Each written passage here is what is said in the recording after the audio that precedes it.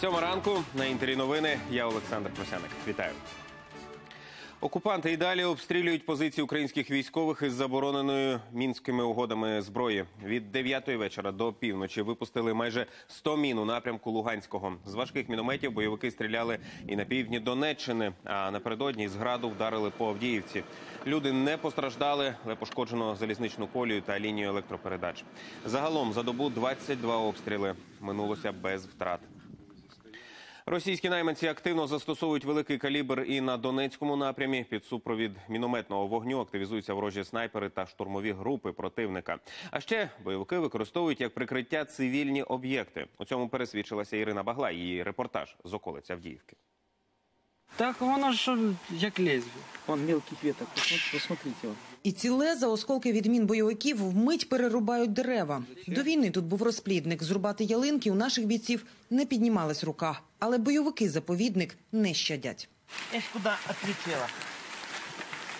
Російські найманці нарощують інтенсивність вогню. Знову найгарячіше у районі Авдіївки. Під час обстрілу по українських військових позиціях бойовики випустили більш як три десятки мін. Ориентировочно где-то, ну, со стороны терминалов. Обычно откуда-то за дома стреляет или какой-то окоп выкапывает.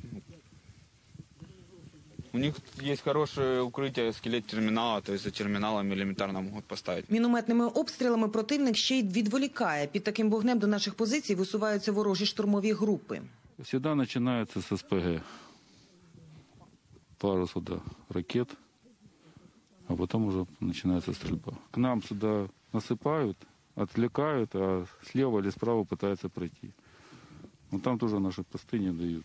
Одна з головних цілей ворогів це військові спостерігачі на позиціях. За ними активно полюють ворожі снайпери. У маленькому бліндажі, здається, немає місця, де укритись від куль. Це ж є ящички пару метров между бойницами. Тут можно и стоять. Пульки летают сюда, звуки всякие разные. Ну, ярче? ярче, да. Светлее, чем днем. А там, де піхотне стрілкове озброєння неефективне, бойовики вдаються до хитрощів. РПГ сюда не долетает, прикручивает 82-ю мину, она просто летит дальше и прилетает сюда. Останнім часом бойовики все частіше б'ють з-за стратегічних цивільних об'єктів. Це як страховка для них, що не отримують належну відповідь. На лінії вогню знову опинилась Донецька фільтрувальна станція. У них там, скорее всего, есть огневые точки, которые они используют там в крайний момент. Какие-то крайние моменты или для каких-то нанесения, там, не знаю, точечных, там, райды, райды какие-то, что они отработали оттуда и ушли. И все. И туда, ну, стрелять как бы нам нельзя. Ірина Багле, Андрій Костюк, Євген Малярчук. Новини телеканал Інтер із Донецької області. 120 кадрових російських офіцерів прибули на Донбас на підмогу бойовикам. Такі дані нашої розвідки. Росіяни можуть отримати командні посади в армійських корпусах терористичних угруповань. Загалом на тимчасово окупованих територіях Донецької та Луганської областей зараз воюють понад три тисячі російських офіцерів, які командують різними підрозділами бандитів. Суд не обрав екс-президентові Грузії Михаїлу Саакашвілі запобіжний захід. Його відпустили без жодних умов у залі суду. Прокуратура оголосила просила про цілодобовий домашній арешт, і тепер вона має п'ять днів, щоб оскаржити рішення. Генпрокурор Юрій Луценко вже повідомив, що саме так його підлеглі і вчинять. Нагадаю, у п'ятницю ввечері Саакашвілі затримали і помістили до ізолятора тимчасового тримання СБУ.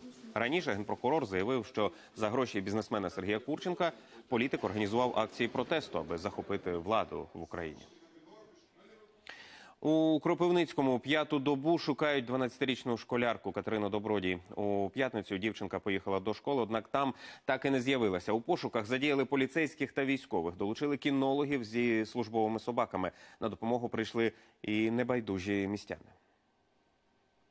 12-річна Катерина Добродій зникла минулої п'ятниці. Дівчинка поїхала до школи, однак там так і не з'явилася. На сполох батьки забили ввечері, коли Катя жодного разу не відповіла на їхні телефонні дзвінки. Вона чогось не хотіла їхати, в неї не було бажання. Їй треба було, вона учиться на другій зміні, а їй треба було на художню школу зранку. Але вона у мами відпросилася, мамочка, будь ласочка, не, я не піду. Ну, мама согласилася, але потім все-таки в школу підняла. Вона так не хотіла, вона і причесуватися. Мам, я ж не причесана.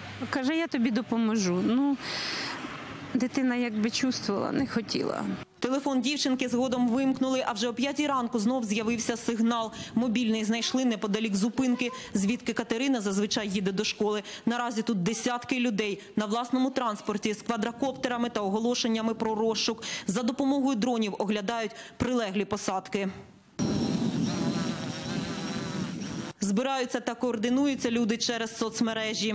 Законы Савченко, все, повыпускали кого? Вы посмотрите на соцсети, там каждый день кого-то ищут, кто-то пропадает. Вот так люди организовываются и ищут. Оголошення про розшук по всьому місту, однак і досі жодної зачіпки. задіяні максимальна кількість поліцейських, також допоміжні сили, також третій полк, різні організації. Робимо все можливе. Поліція працює і вдень, і вночі з метою, щоб встановити місце знаходження неповнолітньої особи. Поліцейські просять усіх, кому відома будь-яка інформація про місце перебування дівчинки, повідомляти на 102. Олена Бринза, Володимир Кувакін. Новини, телеканал Інтер, Кропивницький. Просто посеред білого дня в Ужгороді намагалися викрасти людину. Щоправда, невдало. Свідки вчасно повідомили поліцію, а та швидко зреагувала. Кого обрали за жертву і які мотиви були у злочинців, розкажуть мої колеги.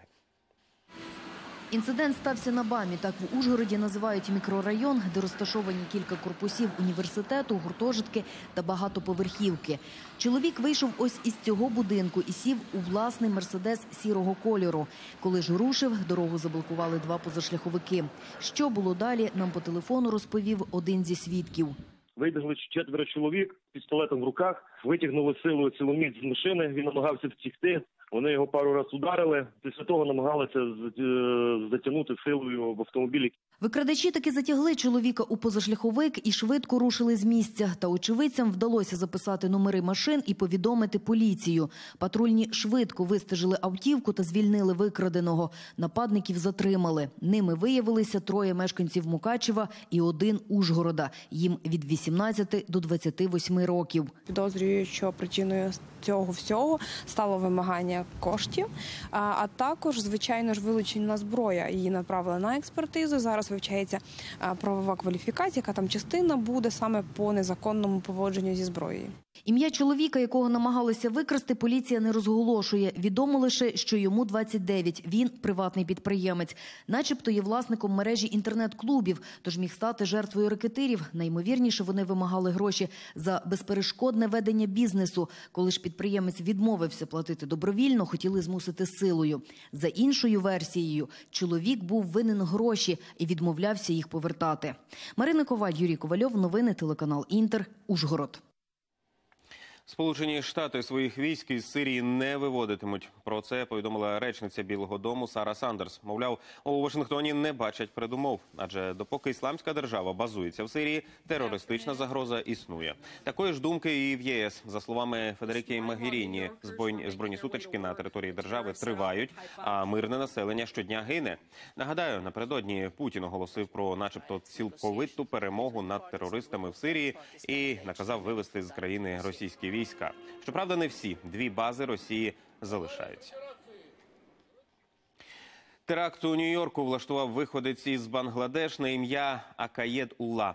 Наразі поліція не знайшла жодних свідчень чоловікової причетності до терористичних організацій. Відомо лише, що нападникові 27 років. Напередодні він підірвав себе просто на автовокзалі поблизу Таймс-сквер. Поранені четверо людей. Найважче сам терорист. Після теракту Дональд Трамп закликав Конгрес зробити суворішу міграційну політику, щоб захистити американців. Велика Британія оговтується після негоди. Через заметілі з перебоями працює громадський транспорт, частково паралізовані залізниця і аеропорти. Подекуди немає електрики. А от кому сніг на втіху, то це дітям. У школярів додаткові вихідні, допоки негода не вгамується. Синоптики прогнозують, сніг падатиме ще принаймні добу. Арнольд Шварценеггер приїхав на зустрічі з мером Парижа велосипедом. Колишній губернатор Каліфорнії мав поділитися з Анною Ідальго своїм досвідом у регіональній політиці, зокрема щодо боротьби із забрудненням повітря в містах. Тож не дивно, що обрав екологічний вид транспорту. Щоправда, охорона супроводжувала Шварценеггера на машині. На цю годину все. Наступний випуск о восьмій. Тоді побачимося. До зустрічі.